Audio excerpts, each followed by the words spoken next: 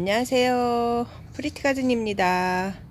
네, 진짜 상추가 너무 건강하고 싱싱하게 잘 자라고 있죠? 프리티 고님들은 어떻게 진짜 몸에 좋은 상추를 집에서 좀 갖고 와서 드시나요? 제가 지난 방송에 뭐 화분에 돈 한 푼도 안 들이고 이렇게 집에서 건강 먹거리를 어, 키워 먹을 수 있는 방법을 알려드렸잖아요.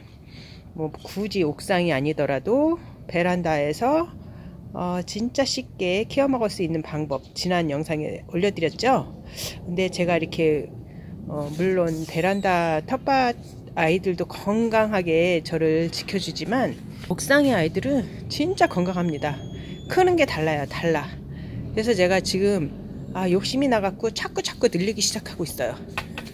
제가 이렇게 이제 막 흙을 흙을 계속해서 여기다가 여기다가 이렇게 흙을 지금 준비를 해놨습니다. 근데 이제 심을 재료가 없어가지고 지난 주말에 제가 상추를 사가지고 오면서 생생토 이거 상토 있잖아요. 이거를 두 개나 사왔고요. 두 봉다리 큰 거 50리터짜리.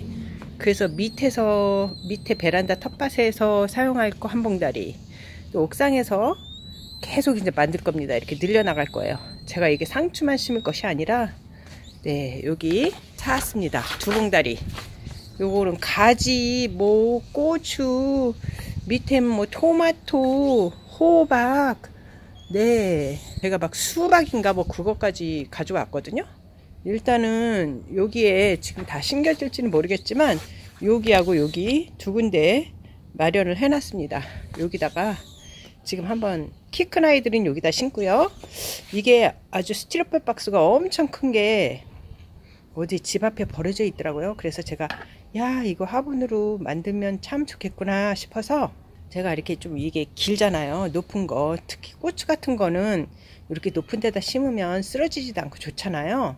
그래서 고추하고 가지 요런 거 이제 심어주려고 토마토 뭐 이런 거 심어주려고 여기다가 일단은 요 밑에 이 흙은 상토는 아니고 이것도 이제 상토도 섞였지만 상토하고만 화분 흙갈이 하면서 제가 이렇게 많이 모아놨던 흙들을 어디다 버려야 되는데 버리지 않고 집에다 좀 모아놨었거든요. 그거를 지금 한 3분의 2 정도 채워줬고요. 3분의 1은 여기다가 생, 상토 있잖아요. 요거를 여기다가 채워가지고 저기 어, 여기 요 고추하고 어, 가지 저희 집에서 키워서 먹을 만큼 양만 사왔어요. 뭐 가지 한 좀 이거 커져 있는 거 3개 정도 사온 것 같고 네 고추 사오고 네 가지가 또 뒤에 또 두 개가 더 있네요. 여기 큰 거 세 포트 사오고 여기 두 개 조그만 거 사오고 요거는 호박인가? 호박인 것 같고요. 호박. 아시겠지만 이거는 심는데 크게 어려운 건 없어요. 그냥 정성만 들이고 물 주실 때 거의 매일 물을 주시고 이렇게 좀 영양제 있잖아요. 영양제도 비료 같은 거 필요 없고 집에서 쌀뜨물하고 뭐 과일 야채 같은 거 이렇게 발효시켜서 뭐 이렇게 물 줄 때 한 2, 3일에 한 번씩 주시면 이렇게 상추 자라듯이 무럭무럭 자랍니다. 네, 상토 있잖아요. 요거를 이제 양이 많으니까 저는 이렇게 바가지로 여기다가 상토를 싹 덮어줍니다. 위에 좀 영양이 많은 상토예요. 이거 상토는 음, 지난번에도 말씀드렸지만 각종 영양소가 많이 들어가 있어요. 이게 코코아 피트 있잖아요. 코코아 피트 그게 한 55% 들어가 있다고 해요. 코코피트 피트모스 질석 펄라이트 제올라이트 부식산 비료 0.4 이런 식으로 각종 영양소가 들어있는 상토기 때문에 이 아이들이 천연 영양제를 수시로 주면은 더욱더 잘 자라겠지만 이 흙만으로도 굉장히 음, 많은 영양이 있기 때문에 아이들이 아주 쑥쑥 잘 커질 겁니다. 거의 꽉 채웠어요. 조금 한 2, 3cm 정도 남겨두고 예, 그러면 지금 고추가 지금 다섯 개가 있네요 다섯 개가 있어요. 고추 다섯 개 이렇게 포트에서 빼줍니다. 다섯 개를 빼줬어요. 포트에서. 네, 그럼 저쪽에다 한번 심어 보겠습니다.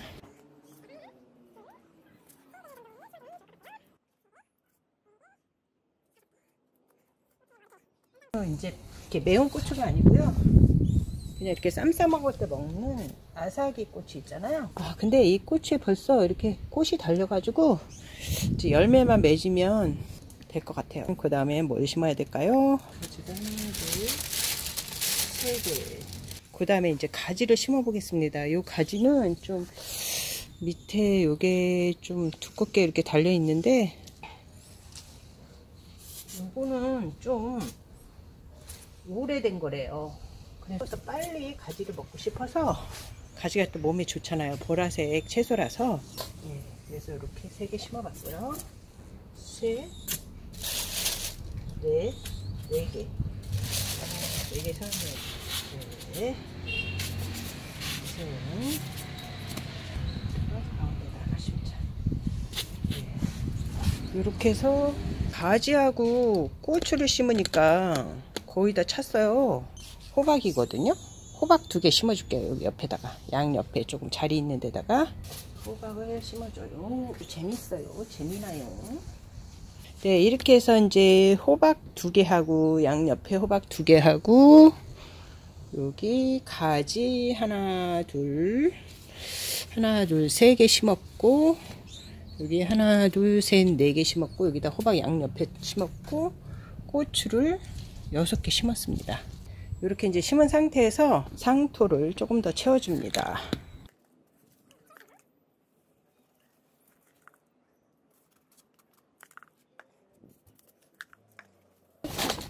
상토를 심어주고 여기다가 물을 조금 주겠습니다. 영양물을 뿌리가 좀 여기 이 화분에 내려줘야 되니까 영양물을 좀 채워줍니다. 여기 좀 그런 것을 쓸어내고 옥상이 한낮에는 더워서 지금 안 심으면은 이제 이른 아침이나 아니면 지금 한 5시 6시 정도 됐거든요. 요때 심어야 가장 좋아요. 네 그래서 제가 쌀뜨물 EM의 과일 야채 영양제 요거 여기다가 또 타왔어요. 10대 1로 타왔습니다. 요거 한번 쭉 줍니다 이렇게. 예. 아, 참 재밌는 것 같아요. 이 옥상에다 이렇게 키운다는 게 저는 옛날에 이게 옥상에다 키우면은 굉장히 힘들 줄 알고 아 맨날 마음이 있었는데 못 키웠었거든요. 네. 근데 참 재밌는 것 같습니다. 네, 이렇게 영양을 주고 나서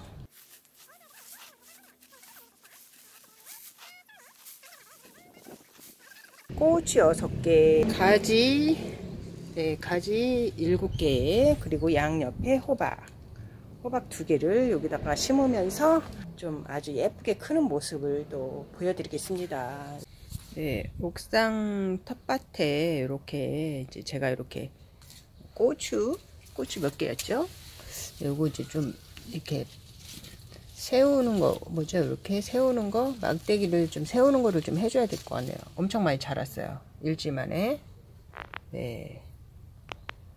일주일 됐거든요 요거 딱. 요거는 고추 가지. 근데 요거는 좀 제가 좀커좀 일찍 따먹고 싶어서 좀 많이 이렇게 예, 달려 있는 거 이렇게 꽃대도 달려 있고 이런 걸 데려왔더니 벌써 열매가 매, 맺으려고 합니다 이렇게. 예, 이렇게 가지가 벌써 달리려고 해요. 좀 있으면 따먹게 생겼습니다 요거는 조금 모종을 사온 건데 그래도 요것도 처음에 없던 이런 가지 가지 호박도 처음보다 엄청 많이 컸죠. 처음 심었을 때 쬐끄만 했는데 네. 그래서 고추 가지 네 이렇게 심은 지 일주일 된 거고요.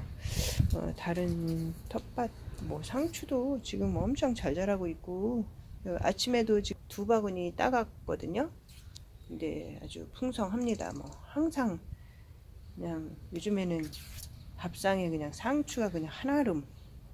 요거는 봉다리 상추, 봉다리. 봉다리 상추도 지금 심은 지 한 일주일 된 것 같은데 엄청 풍성하게 자랐죠. 봉다리 패션. 네. 은근히 재밌어요. 재밌고 이뻐요.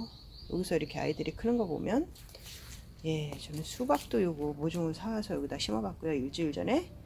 이는 감자는 한 한 달 된 거예요. 너무 좋죠. 그리고 감자 제가 요번에는 지난번에는 요거를 통으로 심어가지고 가지치기를 많이 해줬었는데 여기다가는 제가 요 감자는 네, 기대해 주세요. 제가 또 다른 영상을 올리겠습니다.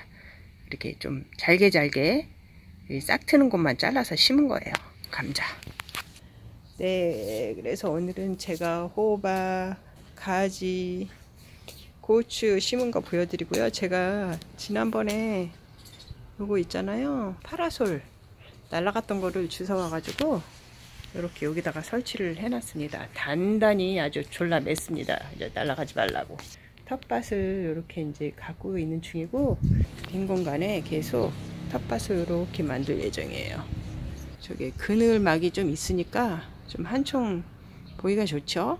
그러면 오늘은 이렇게 제가 텃밭을 하나하나 늘려가는 모습을 보여드리면서 이만 마치겠습니다. 오늘도 행복한 휴일 보내세요.